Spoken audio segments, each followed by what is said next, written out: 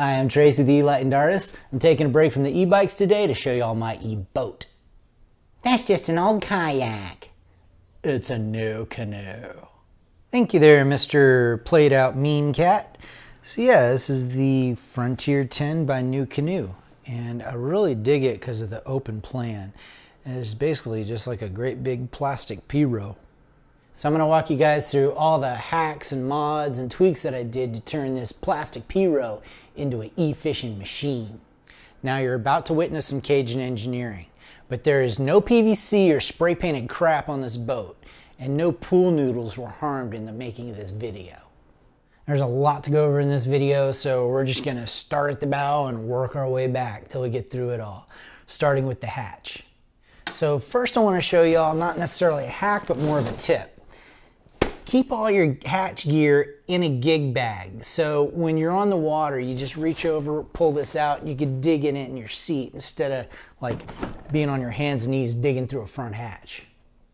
All right, so what all kind of goodies do we have in our gig bag? Oh, first and foremost, PFD. Now, I love these self-inflatable PFDs, man. You see how tight that folded up? And when you're on the water, you barely even know you're wearing this thing. They're great. Next is my rechargeable stern light and the pole. This is a hack. Let me show you. You're gonna love this. So this is a blind cane that I got off of Amazon for eight bucks, fully collapsible. And I just threw some reflective tape on there. You got a four foot stern light pole. Now I just gotta put a light on it. So this is my camping lantern that I use for my tent. It actually has a little hook so you can just hang it from the middle of your tent. Now it's rechargeable, super bright, and check out the end of it. It looks like it was made to stick on some PVC or something. It actually came with a hook. So honestly, you could bypass the pole and just hang it off one of your guides off one of your rods. But I thought this was kind of trick. So what I did was took a bike grip, crammed it on the end there, get it nice and tight, and then stick it on the handle of our pole. Bam. Four foot safety light. Everybody will see you coming and a few more safety items. Got an air horn, beep beep, and a whistle in case my horn runs out of air and there ain't no beep. And there'll be a tweet tweet. And I keep a stringer with me just in case I catch a catfish or a gill hook a fish. And uh, if he's legal, he's din din. And this is kind of a hack. This is actually a plastic box that stick gum came in. I keep my boat registration and my charging cable for my light, a couple of spare fuses, and some spare prop pins in there minty fresh. And here's something fun. I took a selfie stick, screwed a Scotty mount into the base. That was about three feet long with a GoPro mount.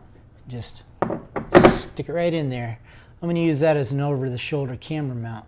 And at the bottom of my gig bag, I keep my spare prop and a prop wrench. So I've never actually had to use this, but it lives at the bottom of that bag. Never even know it's there. All right, now I gotta stick all this crap back in here.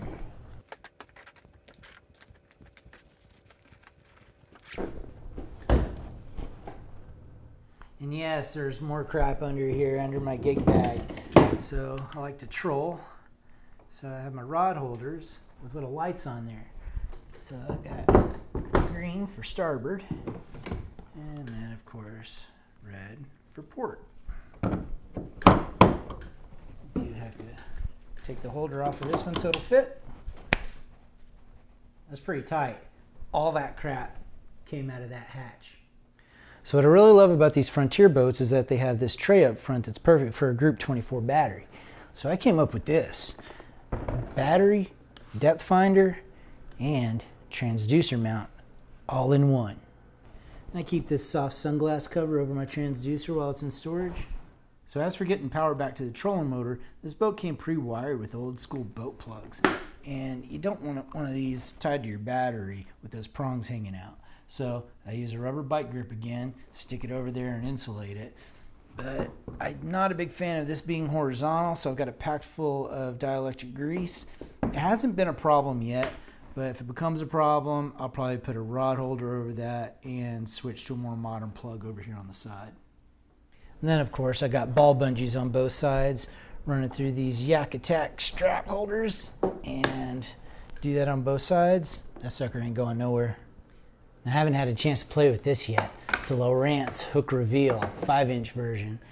So it's got GPS, chart plotting, and it's got down imaging plus old school sonar, and it has something called fish reveal where it actually mixes the two. So you can have GPS over here, and then basically down imaging and old school sonar on this side. It's epic. Can't wait to use it.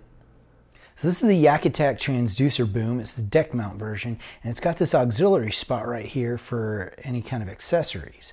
Cool thing is, all this track mount stuff, all these T-bolts, and pretty much all this Scotty stuff, it's the same hardware that you'd find on phone mounts, GoPro mounts, and things like that. So I can stick anything I want on there.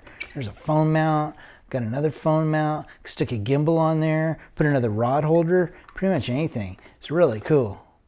Next up, I have my Smart Track control system for my steering. I don't have those mounted into the hull. I actually have them mounted to some aluminum angle iron, and then those are T-bolted into the track system. I feel like it's a lot stronger that way and hasn't done me wrong yet. Then I have these cables coming from the pedals running into some drip line that I got from my irrigation system. And those are running through the seat and then they come on back here where I clip them to the trolling motor. Then there's the Scotty cup holders, got one on each side. These things are ridiculously useful. So you just put a little mount in there and they pop on, pop off. Stick on pretty good though. I'll show you more about those later. And over here I have the YakHacker paddle holder. I really dig it. It's probably not as good as the YakAttack one, but it's one I got. It's fine. Unfortunately, the track system in this boat, it runs all the way through the boat, but it's way off the gunnel and kind of sunken. So you have to add a little piece of track if you're going to add something like this. No big deal. I dig it. This is one of the older models of the NuCanoe Frontier. They have this fiberglass seat base. It's super strong and super light, plenty of clearance, and it's got this quick release latch. So we're just gonna line up our seat on there. And there you go. It's like an old school bass boat seat. The 360 swivel, super comfy. Sit in that all day. Starting to look like a real boat now. Moving on to the back of the boat, I just came up with this. It's a piece of 2 inch ABS drain plug bolted to my T-track there. And now I'm going to glue a length of ABS onto that. And there you go. Net keeper. So uh, I will have to use in a really long extension and tighten that down once I have it glued in. It's all good. Yeah, it's pretty cool and only costs a couple bucks. Then on this side, you see I have my Scotty mount for my GoPro selfie stick. And that's a rod holder that I really don't like for my rods, so I use that for my stern light pole. So back here you see where they molded in a perfect spot for your crate. You can use a one by one or the slightly longer one, but then you'd have to move your seat up a little bit. Uh, you see where I've got these bungees to lock down my crate, but also there's this kind of round bit. Now that'd be perfect for a five gallon bucket. Let me show you. Okay, this is the only five gallon bucket I have handy. It's kind of gross, but you could get one of those five gallon bucket tackle organizers, get a bunch of rod holders or a bubbler for your live bait, and use this in lieu of a crate. So that'd be kind of cool for you saltwater guys. Uh, got one better for you. You could put one of these on there and have an on the water potty.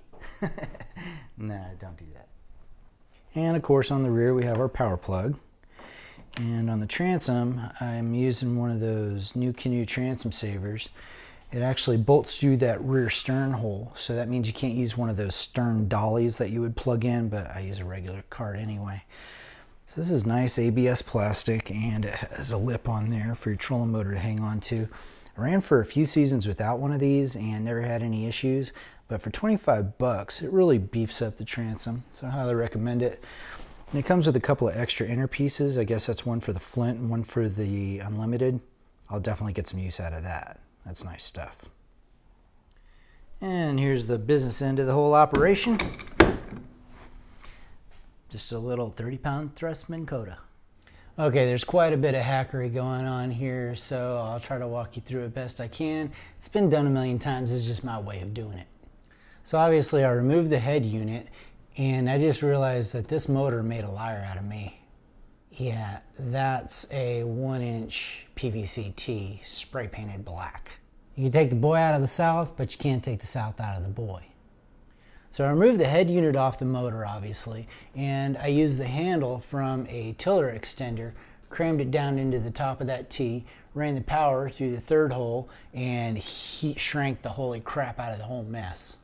Yeah, I buy this stuff by the yard. Now for my steering cross member, I used a long coupler nut with threaded eyes screwed into both sides, and then connected it all to the shaft with a U-bolt. I went ahead and heat shrink the whole mess just to make it nice and tidy. Putting this tiller handle on here gives me plenty of leverage to get my motor up out of the water when I'm reaching back from my seat. And that bow light set came with a couple of stern lights too. Why not? And the next step was to turn this into this.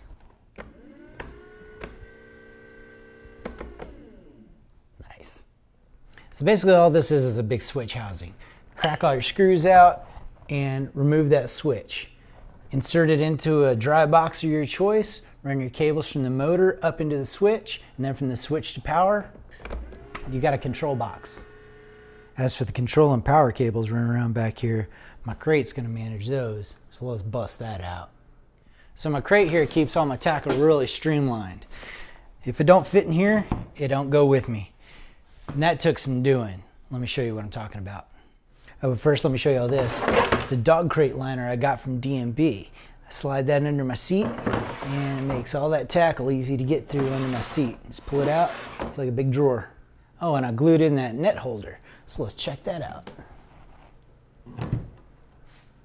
Nice. So the top of my crate is actually a Plano box that I got at Bass Pro. It's molded on the bottom so it actually locks into the top of a one by one crate. How cool is that? So when I get on the water, this lives under my seat. And inside the crate, first off, we have my little igloo, fill this with ice and Gatorade, and it has these hooks in the handle for hanging off of a fence. And I just hang it right there off my crate, reach back and grab it anytime I need it. As for my anchor, I just use this little pound and a half guy with a length of chain. That makes it heavy enough and it lays nice and flat. So I wanted to show you all this. Obviously you tie your anchor chain to the bottom of the anchor so you can get it out and a lot of people zip tie up front. Don't do that. Use a piece of monofilament, tie it to the anchor and then wrap it around the chain and retie it. That way when you snap it free if you have to, a piece of mono stays tied to the anchor and you're not dumping a little piece of zip tie in the water. As for the rest of it, I only keep about 50 feet. It's all I ever need. Uh, keep it wrapped around this line winder that actually comes when you buy rope. And I got a float tied in there. It's a pretty cool little system. I'll show it to you when I show you the anchor trolley. I have all my terminal tackle and all my crankbaits in that box under my seat, but all my worms live in this guy. Check this out. I just got it. I love it. All right, so let's check out my tackle. That's pretty much all there is. These two containers with many more containers inside of them. I kind of a Russian doll thing going on with my tackle. So my worm binder is an H2O Express item from Academy Sports and Outdoors. You unclip this and you got this pocket. And that's where I keep my pliers, my nips, forceps with their tethers. And when I get on the water, I just clip these into my cup holders. So that's pretty cool. Then we unzip and this is my favorite part about it. There's room for a tackle box in here, plus 10 envelopes for soft plastics. There's even room for my dip. Now the binder came with a different plastic box, but I swapped it out for this waterproof job. I like these because the soft plastics in there stay nice and moist. You can keep stuff in here that's kind of pre-rigged, that doesn't quite work in a binder, or if you use something on the water and it's not quite spent yet, still got some life in it, you can tuck it in here, and that waterproof box will keep it nice and fresh. And once I get on the water and I've already opened this up, you don't even have to zip it back up. You just clip it and then stick it back in your crate. In my underseat box, keep all my hard baits, square bill crankbaits, all in their own compartment, nice and thin, so I'm not fighting treble hooks getting all knotted up with each other.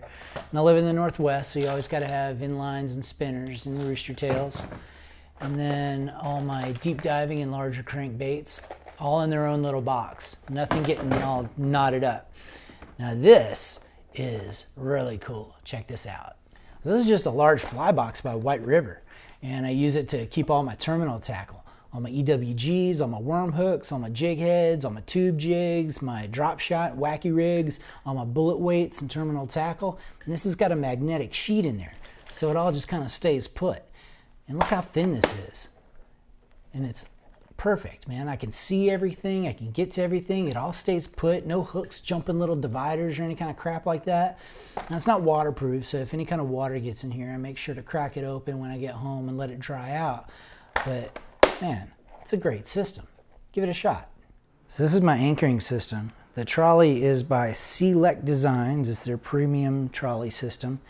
And I picked this one not only because it comes with uh, well nuts, which I really like, but it comes with this. It's a carabiner style loop. So I can actually unhook that, grab my fish grips, clip onto that carabiner, and then clip onto a tree all tethered to my dolly. I think that's pretty dope. Now as for the actual anchor, you see I've got it clipped to the side of the boat there, runs through that loop and then down. It's knotted, then goes through a float and then comes back out and goes around the keeper. Then you've got a couple of pinch points there so that your spare line doesn't run off while you're anchored. And if things get rough, I can just unclip, let that drop away. It'll be under tension, so it'll pull right through and fall away. And that float will let me know where my anchor is. I can come back and get it later. All right, there it is, ready to rock. Everything in its place. Everything can be easily deployed, easily stowed. So these gunnel drains kind of go behind the rail system. That's a good little spot to put your pliers. This cup holder over here holds my clippers and my hemostats and my fish grips. These cup holders have these slots in them I guess you can actually lay a rod across there and it holds onto it. I stick it in there and fill them full of spent lures. And you can see how well my paddle rides on there. It's super stable, doesn't flop around. That paddle holder actually has tethers, but I never have to use them. If you can see in there, I keep a Velcro strap to keep my cables up off the deck. And my sister made me these really cool lure keepers to wrap around your crankbaits when they're rigged to your rod. Also makes a great flag because it's a flag. So that's all I got for y'all today. Man, there's a lot of stuff on this little 10 foot kayak. I didn't realize how much crap I put on here until I started filming. So I couldn't get into too much in depth detail on any one particular thing. If there's anything you want to know, let me know in the comments. I'd be happy to answer. Um, I'm going to link as much of this stuff in the description as I possibly can and I'll definitely be making some more videos. If you dug that, you want to see more, do me a favor and slug that bug. Maybe throw me a like. I really appreciate it. If you're into e-bikes, I also do e-bike videos. Wallke's sending me the newest step-through version of the H6. So I'll be doing a video on that here soon, and I'm about to do a video about the gearing on these e-bikes. So if you're into that, definitely stay tuned. Check me out. Check out my other videos. I really appreciate you. I'm gonna get out on the water and finish this bag of taco sunflower seeds. Tight lines. Cheers. That's just an old kayak. It's a new canoe.